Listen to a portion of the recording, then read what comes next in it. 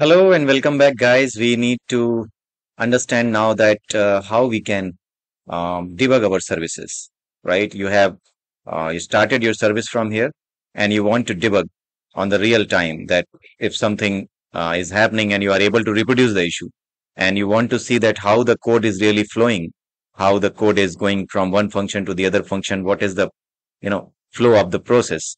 Then in that case, you can do the debugging. You can put the breakpoint and then you can see that how actually the things are going on.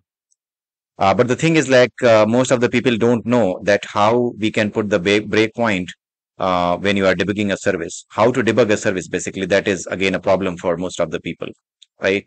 So let me show you that how you can debug it. First of all, we have done one thing like uh, in case you have uh, you know uh, the logging enabled, then in that case it, it becomes easy for you to find out like from where the bug has come right? From where, at what point the issue is coming. Sometimes the fixes are simpler.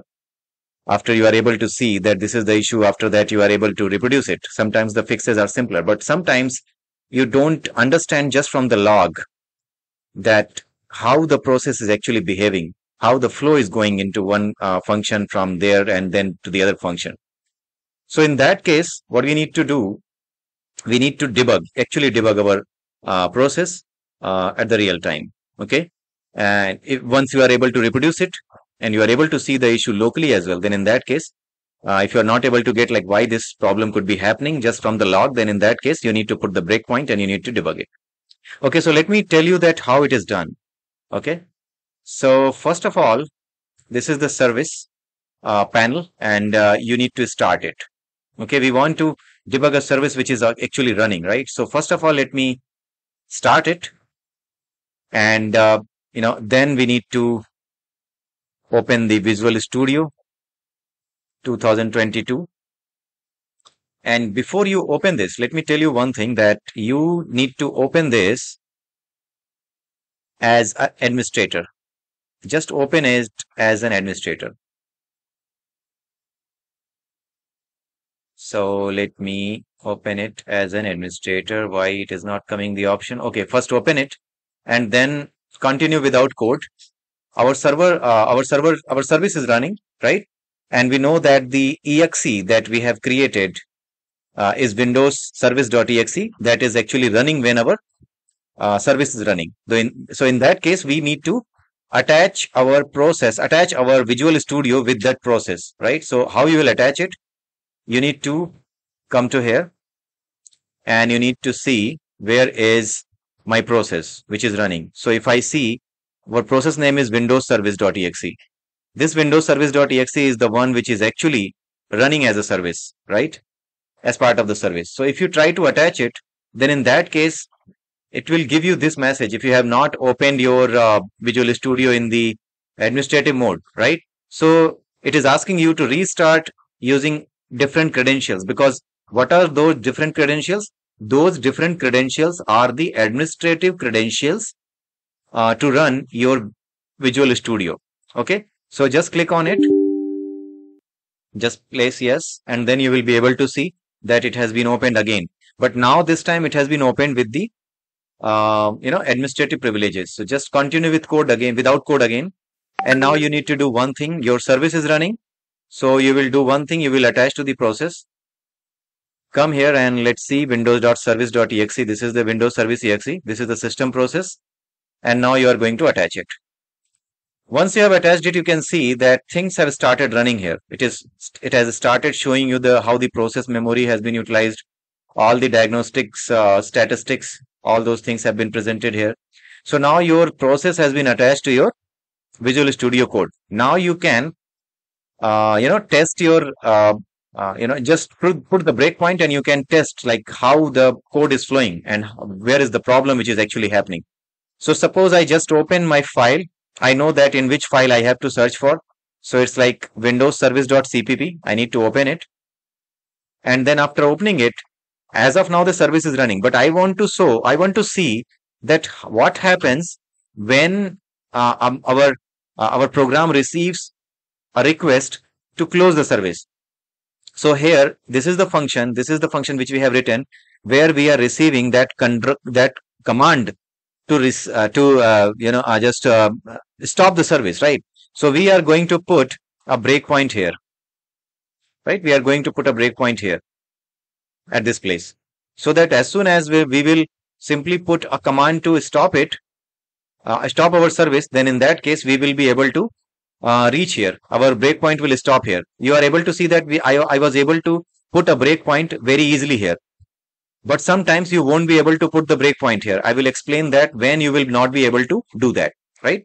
So I have just uh, placed the breakpoint here, but not every time you will be able to put it.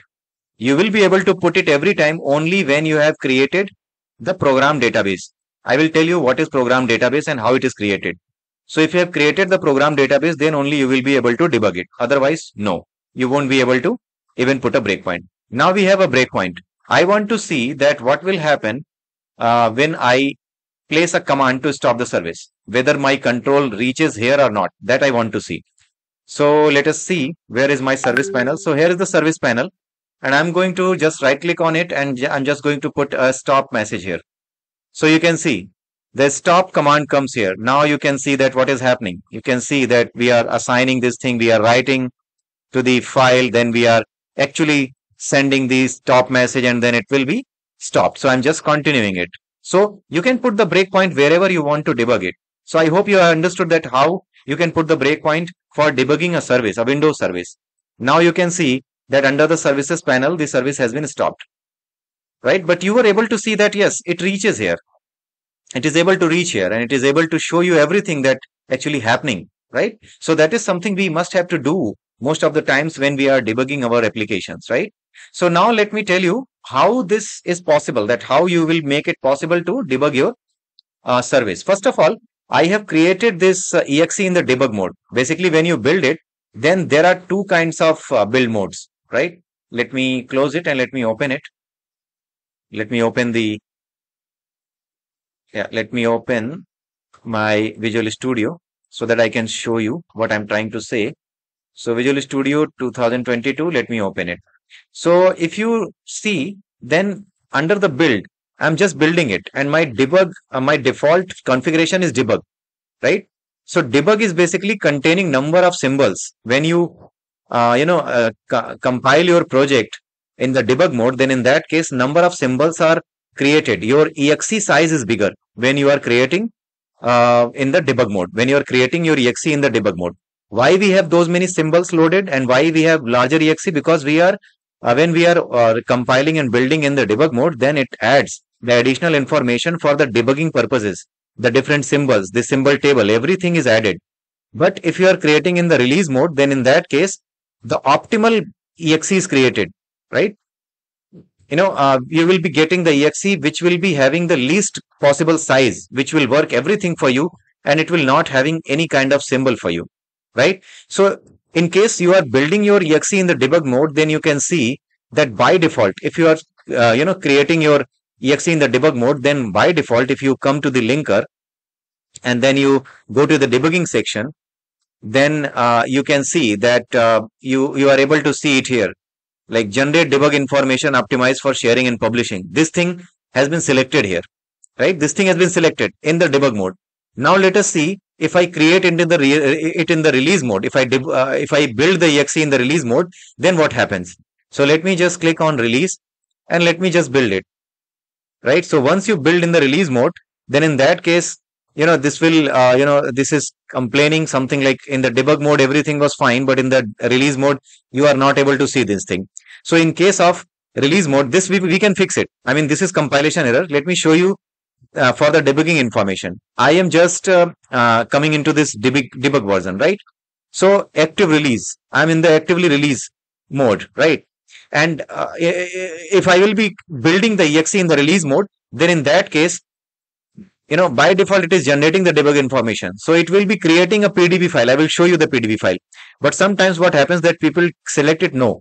They don't want to create any debug information, debug symbol, so that their exe size is again smaller, right? So for these things, uh, you know, uh, if you if you have to uh, just uh, generate the debug information for the release version as well, then in that case you need to select again this one, the full debug right? Or you can simply uh, create like this one, debug one.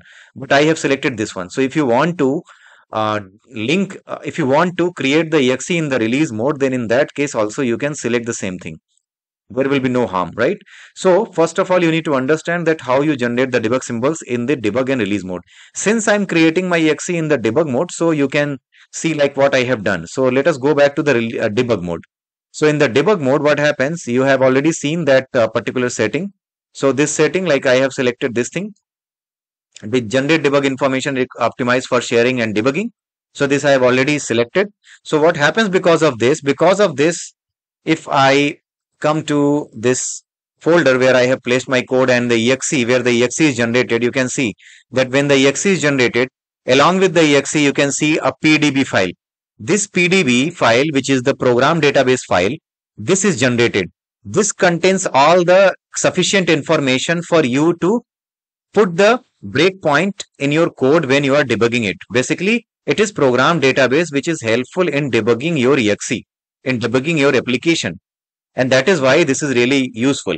Windows services.pdb. This program database, this program database need to be, must need to be created if you want to debug your application. If you have not set that particular debug information generation thing that I have just shown you, then in that case, this PDB will not be generated and you won't be able to debug your application at the runtime, debug your service at the runtime, right? Of, or for matter any, uh, for the, for that matter, any application, for any application that you want to debug, if you don't have this PDB, you won't be able to debug it, right? So this PDB is really the important thing. So if PDB is not there, then you won't be able to uh, you know, uh, just debug your application, right? So this PDB and the exe, this PDB should be under that path which is recognizable by your Visual Studio at the time of debugging. I just showed you that I was debugging, but at that time I attached my uh, Windows Service.exe, my, my Visual Studio with this Windows Service.exe. And after attaching, we were sure that we will be able to load the symbols. Why? Because PDB was under the same path where the exe has been placed.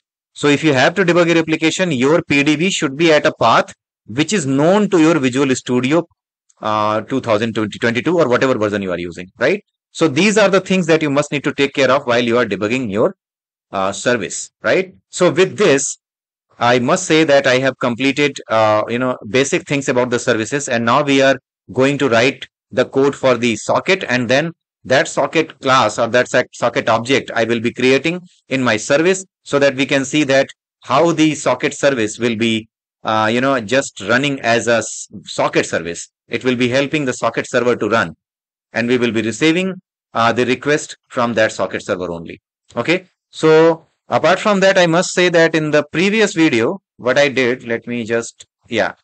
In the previous video, I showed you that how you can add the time right? So I have added the timestamp in every every line uh, wherever I have placed the uh, log uh, logging, right? So this has this has been pushed to the uh, to the uh, repository, and uh, I have given the link of the repository, the URL I have given to clone the code in the previous video. You can clone your code. You can clone the code to get the latest code, right? So I hope you must have understood and you might have uh, you might have created some piece of code looking at this particular uh, you know uh, video. And uh, without creating the without writing the code yourself you won't be able to understand the concepts. So i must say that you should write your own code to understand that how the things are actually working on. Okay? So with this i would like to say have a nice day and bye bye we'll meet soon again in the next video. Till then please like subscribe and share my videos. Thank